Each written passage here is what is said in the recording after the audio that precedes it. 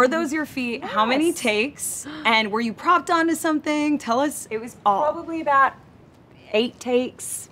Wasn't that many. Um, they are my feet. I walked up. We had little sticky bits on the floor for the like double-sided tape for the shoes, so they wouldn't come off, so they I could get my feet out of them. And I was holding onto like a bar, but that's it. I wasn't like a harness or anything like that. I just like walked up, kind of held onto the bar above camera. What a perfect arch. Wow. Yeah. And you were a dancer, right? I did ballet when I was a kid. Oh. So But I she's got kind of. Yeah. but I, I, I hate it. I, I always try and do my own inserts. Like I don't like when I watch a movie and I know it's not my That's not hands. my hand. I hate that so much. I always mm. say to the director, like, please let me do all my own things. I don't, I don't like it knowing that I didn't do it.